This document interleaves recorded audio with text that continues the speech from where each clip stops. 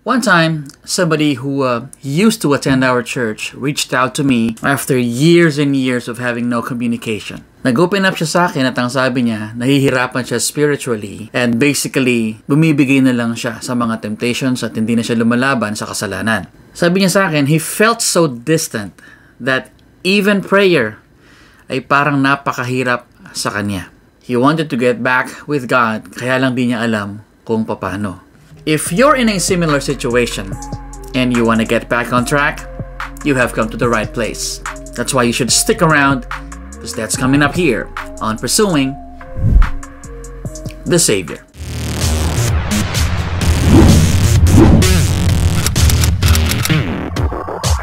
What is going on? My name is Archie and welcome to Pursuing the Savior.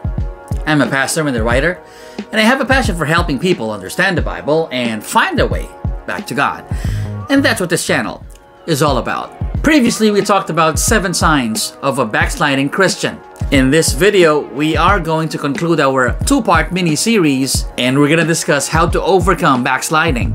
If you're new to the channel, please consider subscribing and hit that little notification bell so you won't miss a thing. And if you're watching on Facebook, don't forget to like or follow our official Facebook page, Pursuing the Savior. Let's get started. Gusto ko pong linawin na ang backsliding ay isang pansamantalang period sa buhay ng isang totoong kristyano na kung saan ay pinipili niyang suwayin ang Diyos kaya siya hindi lumalago sa kanyang buhay kristyano. But the whole idea of backsliding is actually found only in the Old Testament and oftentimes ang tinutukoy dito ay yung actions ng Israel toward God. Basically, it is used in two ways in the Old Testament. Number one, when ungodly people openly reject God. And number two, when God fearing people do not grow in their spiritual lives and they kind of hibernate because of sin. Obviously, yung unang gamit does not apply to Christians kaya yung pangalawang gamit lang ang applicable sa mga Kristiyano. Therefore, kung ikaw ay isang totoong Kristiyano na may banal na pagkatakot sa Diyos pero somehow ikaw ay parang hindi lumalago sa iyong buhay Kristiyano at nahihirapan kang mapanagumpayan ng mga temptasyon at kasalanan and you want to get back in the Christian race, I encourage you to please keep watching till the end of this video. I'd like to clear out there is no such thing as a secret formula to uh, overcoming backsliding. What I'm about to give you are only suggestions. Nevertheless, in this season of your spiritual life na kung saan ay uhaw na uhaw ka sa presensya at gabay ng Diyos, you will need all the help you can get, right? In this video ay bibigyan ko po kayo ng apat na suggestions kung paano po i-address ang backsliding. Number one, confess your sin. To recognize our spiritual dullness and our lack of growth is the first step to healing. Admission of guilt takes humility, and that's exactly what catches God's attention. Bilang isang Kristiyano ay sumasa iyo ang banal na espiritu na siyang nagko-convict sa iyo sa kasalanan. Therefore, malalaman mo kung meron o walang problema sa iyong puso. But if you admit that you are sinning, you have an audience in God. Let's go to Psalm chapter 32 verse 5 and see what the Bible has to say. I acknowledged my sin to you, and I did not cover my iniquity. I said, I will confess my transgressions to the Lord, and you forgave the iniquity of my sin. In this psalm, David confesses his sins of adultery, murder, and deception. Naunawaan ni David na siya ay nagkamali at hindi lang siya basta nagkasala sa kanyang sarili, kay Bathsheba, kundi ultimately sa Diyos siya nagkasala. Now, David used three words to describe his sin. Number one, the word sin, which means to miss the mark. Ibig sabihin, sinukat tayo, pero kulang ayon dun sa pamantayan ng Diyos. Number two, iniquity. It means twisted. Idinidescribe nito kung ano yung nangyayari sa loob ng puso ng isang taong nagkakasala. Number three, transgression, which means crossing over the line and deliberately rebelling against God. So, si David, he admitted that he sinned, he had iniquity, and transgressed against God. Wala siyang tinira wala siyang tinago. Nilabas niya lahat sa Diyos. Before David committed these sins, alam niya na na mali ang mga bagay na yon. However, he allowed his sinful nature to take over. At naunawaan din ni David na yung enjoyment na daladala ng kasalanan ay pansamantala lamang at hindi magtatagal. Dahil doon, nawala yung kanyang fellowship sa Diyos, nawala yung kanyang kapayapaan. Because of this, David examined his heart and he realized he indeed had sinned.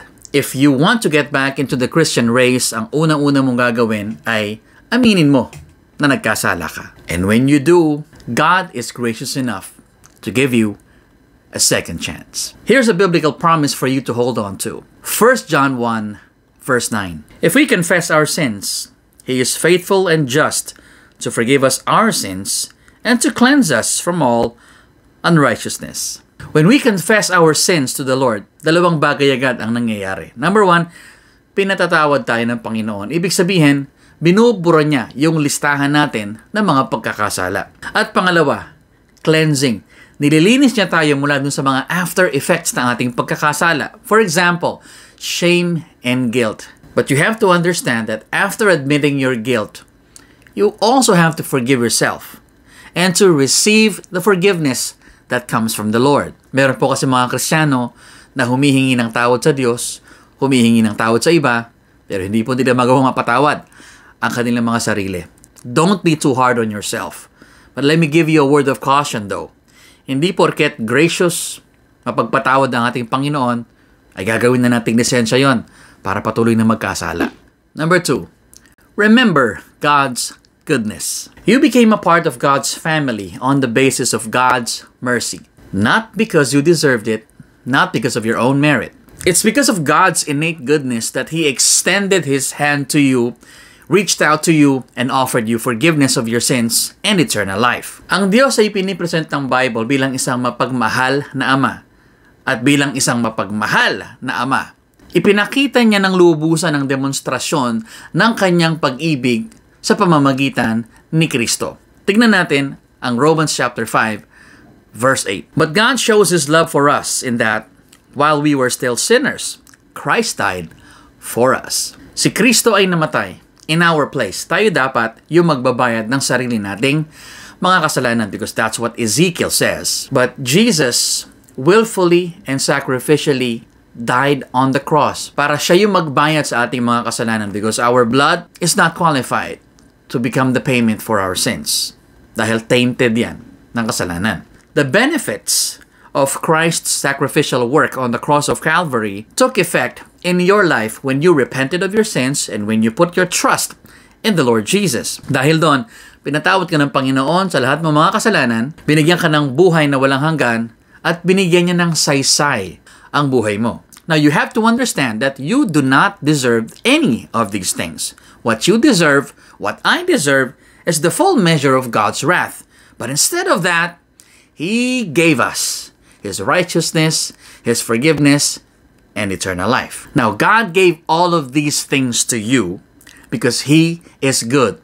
And you have to remember that. Ang tanong ko ay ito, paano mo ngayon ibabalik ang kakandahang loob ng Panginoon sa iyo? When you are tempted to sin, remember that those sins, kung ano man yung mga kasalanan, kung ano man yung weaknesses mo, remember that those sins are the very reasons why Jesus died on the cross in the first place. He took your punishment. He died on your behalf. And the least you can do is to obey Him and remember His goodness. Number three, find the right community. Alam ng Diyos, mahirap i-overcome ang backsliding ng mag-isa. When we're alone, we are weak and helpless. That's why we need company. Kailangan mo ng isang community, hindi lang para tulungan ka na mag-mature sa iyong buhay kristyano, but also for you to move on from a life of sin. Alalahanin natin na yung community of believers, yung tinatawag nating church, ay hindi lang isang lugar kung saan tayo ay a-attend para mag-fulfill ng mga spiritual duties o kaya mag-impress ng tao o impresin natin ang Diyos. O kaya para linisin natin yung ating mga konsensya or para magbawas ng kasalanan. Hindi yon ang purpose ng church. The church is a place where you will be taken care of spiritually enabling you to resist temptations through a community of believers. Besides, moving on is much easier kapag tayo ay may mga kaibigan na tunay na nagmamahal sa atin na handang sumuporta at tulungan tayong mag-move on. Tignan natin ang Galatians chapter 6 verse 1 and 2. Brothers, if anyone is caught in any transgression, you who are spiritual should restore him in a spirit of gentleness. Keep watch on yourself, lest you too be tempted. Bear one another's burdens, and so fulfill the law of Christ. A true church genuinely cares for every believer. Regardless kung okay lang sila o sila ay medyo nagiging wayward sa kanilang Christian life. Ang isang iglesia ay binubuo ng iba't ibang klase ng tao, iba't ibang mga personalidad, iba't ibang level ng pananampalataya, iba't ibang mga experiences. But one thing's for sure, there should be at least one person in the church who can relate to you on a personal level at handang tulungan ka na makabangon mula sa pagkakasala. Now, your job is to find that one person. Ipag-pray mo na dalhin ka ni Lord sa isang tao na willing na tulungan ka, handang makinig sa iyo at gabayan ka sa iyong pagbangon. It can be your pastor, it can be your uh, small group leader, or it can be any mature Christian na pwede magbigay sa iyo ng biblical insights. Preferably yung mga naka-overcome ng mga bagay na sinusubukan mong malampasan sa bahaging ito ng iyong buhay. But you have to be humble enough and open for rebuke and correction. Lahat tayo ay kailangan natin ng isang taong yun na nagmamalasakit sa atin na handang i-rebuke tayo. It takes a lot of guts and courage na mag-rebuke ng isang tao. At gagawin mo lang yun kung talagang mahal mo siya. So if you can find someone who is willing to confront you and rebuke you so that you may be corrected, naku, baka mamahalin mo ang taong yan kasi totoo kang minamahal niya. Number four, remain vigilant. So let's say, nakapag-confess ka na sa Diyos, tinanggap mo na kanyang kapatawaran, you remember God's goodness, and now you have the right community, hindi ibig sabihin nun tapos na laban. You also have to be on the defensive. You gotta keep your guard up. Especially kapag smooth sailing ang buhay. You should know how the enemy works. You should determine his strategies and game plans. And you should not let him score kasi baka matalo ka sa laban. To remain vigilant ay kailangan bantayan mo kapatid ang iyong puso. Let's consider Proverbs 4 verse 23. Keep your heart with all vigilance, for from it flow the springs of life.